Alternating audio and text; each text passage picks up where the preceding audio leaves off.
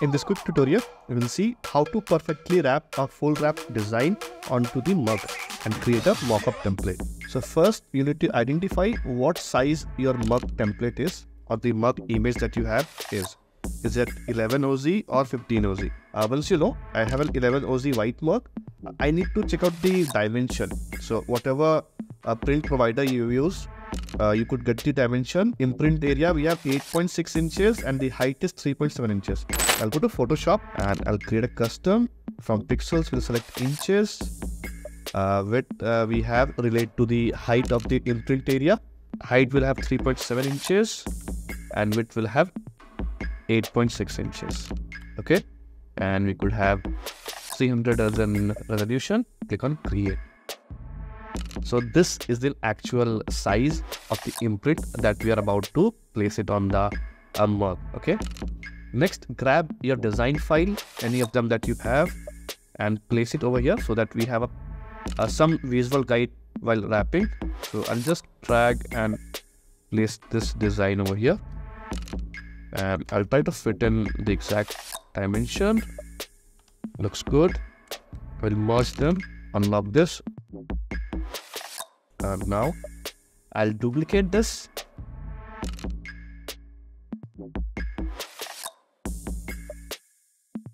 Uh, so I'll duplicate this on the mug image that we have. Uh, once duplicated, I'll press Ctrl T, uh, bring it at the center.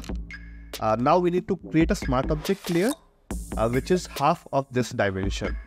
If you look at this mug, we see two faces, the front face and the back face, which we are not visible.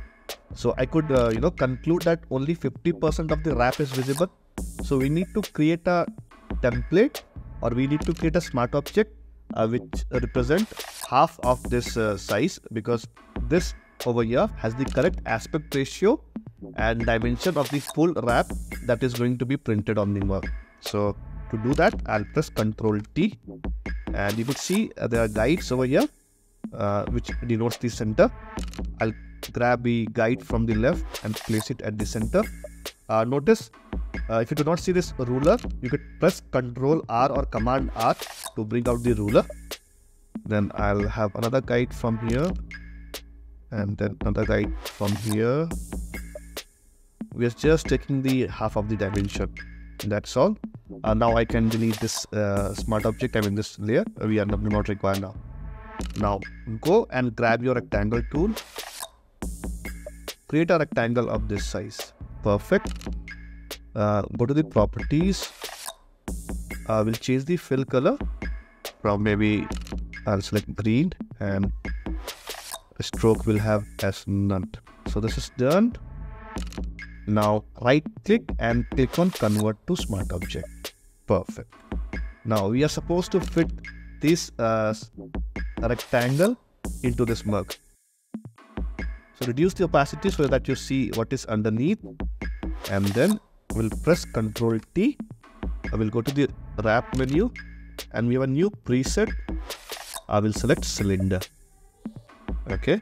Uh, now using the wrap, I mean using the anchor, we have uh, four anchors one, two, three, four, and five anchors.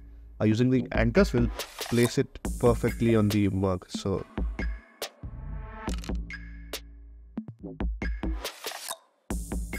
I think this looks nice. Uh, once done, hit on this check mark. Uh, you can increase the opacity. Uh, then I'll go and change the blending mode to multiply. I will delete this design that we have. I'll create a curves adjustment layer. Go to adjustment layer, click on curves, and then click on on top. And right click and click on create clipping mask. Maybe I'll try one outwards more. Done. Okay. Now to place the design, we have this design. I'll just delete this. I mean, close this. Not required. Uh, we have the smart object layer. We'll double click on the smart object icon. This will open the tab. Uh, now, what we are going to do is place our design. So I'll use the same design that we, you know, made up half copy of the bull design and place it over here. This denotes only half of the wrap, right? So I'll just double click. Yeah, just place it like this and if you want you can you know position at the center so that it looks visually nice but again uh, it only denotes 50% of the wrap that we have right uh, once you save this uh, you could see this is the perfect wrap that we have it's time for the bonus let me show you how you can automatically generate thousands of mockups within a minute so I have collected 5 templates in this folder that I created in the same process which we have just seen. In the second folder, I have 10 design files. So in total, we will be generating 50 plus mockups within a minute. We have the third folder which is empty. Here our mug mockups will be exported. Simply open the bulk mockup plugin in Photoshop.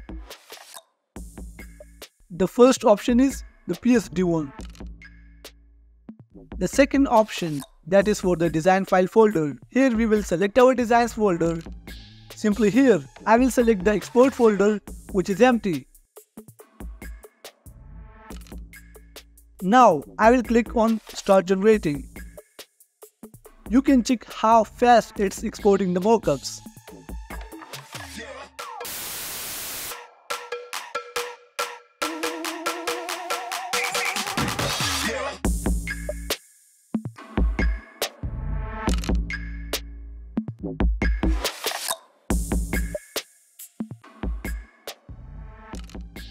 Isn't it incredible? We have 50 plus mockup in no time. If you are running a Etsy store, this can be a game changer for you. To learn more about it, check bulkmockup.com.